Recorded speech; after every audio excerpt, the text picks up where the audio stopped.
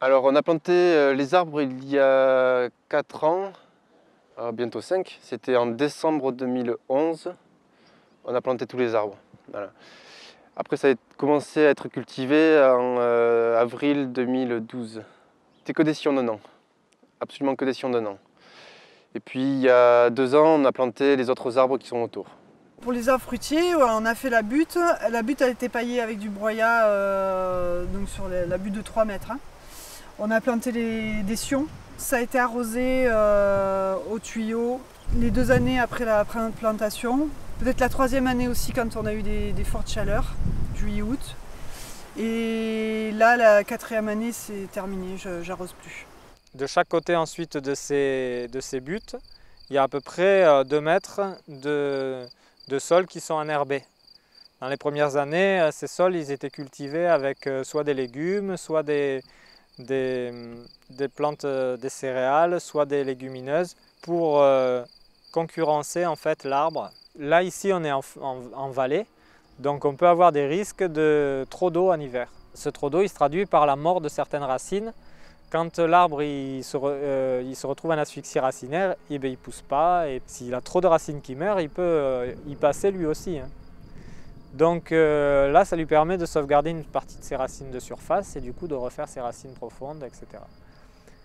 Et euh, notamment pendant les premières années.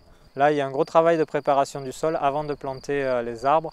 Sur un an, en fait, on a commencé par travailler le sol, semer un engrais vert, ensuite détruire l'engrais vert, incorporer cet engrais vert, décompacter le sol, monter des buts, mettre du fumier, bien monter les buts, mettre du BRF sur les buts et ensuite planter tout ce travail-là, ça prend six mois, un an. Quoi. Bon, après, c'est des chantiers participatifs. On a voilà, invité plein de monde et puis on a fait ça de manière joyeuse avec euh, plein de gens. Donc, c'était très sympa. L'arbre, il a été tutoré pendant les deux premières années de plantation pour éviter les gros coups de vent. Mais après, on enlève les tuteurs pour que justement, il se renforce au niveau racinaire.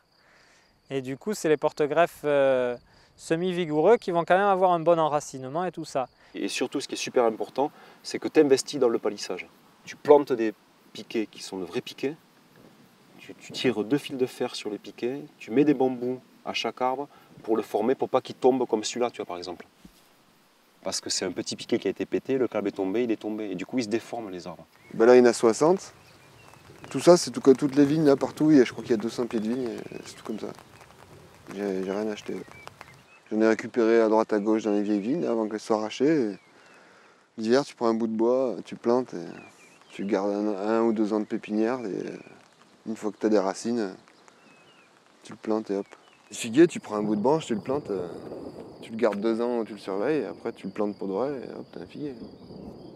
C'est pas très réfléchi, non. Non, non, il y a des plantes que j'aime bien, je les multiplie, je les bouture et je les plante quand j'ai le temps. Bah, les fruitiers, à un moment, ils ont plus besoin, quoi. Ils ont plus, ils ont plus besoin d'être nourris. De toute façon, la bouffe, et c'est peut-être ça la, la connerie aussi, c'est que je les ai pas nourris au pied. A priori, après, les racines, elles sont pas au pied, hein, elles sont loin. Et qui vont chercher la bouffe euh, dans mes grandes cultures.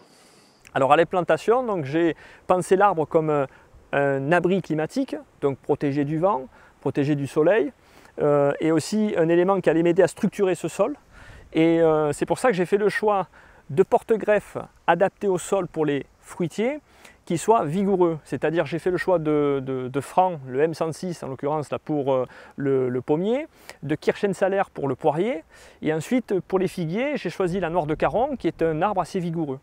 L'aspect euh, productivité ou je dirais rendement, bien sûr j'en tenais compte parce que je faisais le choix de certaines euh, variétés, Hein, euh, lorsque j'ai eu implanté les porte-greffes, j'ai fait ensuite le choix euh, de, la poire crémeusine, de la royale d'hiver par rapport à leur goût et aussi aux, périodes de, floraison.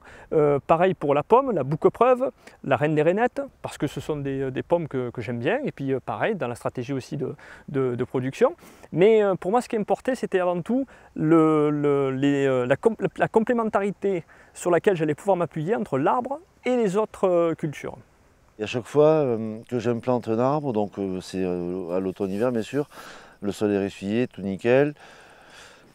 Pour tous les arbres qui sont installés, que j'ai implantés, je crée une couronne de, de 2 mètres de diamètre Je saupoudre de cendre euh, à l'endroit où je fais sur 2 mètres de, diamètre euh, sur cette voilà. Je saupoudre de cendre à l'endroit très légèrement. Ensuite je mets 30 cm de feuilles. Alors ça peut être du platane, du tilleul, du chêne ou autre chose, on s'en fout. Recouvert de 15 cm de BRF, de bois ramelal fragmenté, euh, qui est aussi une base du système ici.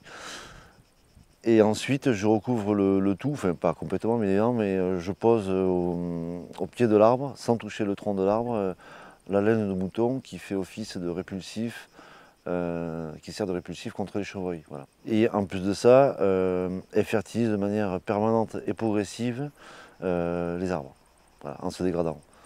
Et tout ça, c'est atténué par les couches de, carbone dessous, c'est-à-dire le BRF et et le feuillage. Donc ça, ce sont des amandiers qui ont 3 ans d'âge. Ça, c'était des sions de Nantes qui faisaient 1m50 et qui étaient gros comme on pousse, même pas. C'est une plante vivace, c'est euh, quelque chose, la plante, elle est là pour des années et des années. Et si on ne réfléchit pas à ce qu'on en veut ou comment on veut le conduire, euh, ce qu'on veut, ce qu'elle nous apporte, et eh ben derrière, on peut avoir toutes sortes de problèmes. Euh. Bah, le problème, c'est qu'un légume qui démarre pas bien, il va jamais faire un, des beaux, une belle production. Mais par contre, euh, rapidement, l'année d'après, on pourra refaire les choses mieux. L'arbre, euh, si tu le plantes dans des mauvaises conditions, eh ben, tu en as pour 40 ans ou 50 ans qui va pas bien pousser. Quoi. Et voilà, on a fait une belle butte qu'on a bien travaillée, là, elle était jolie, et, voilà, et on a planté là-dedans.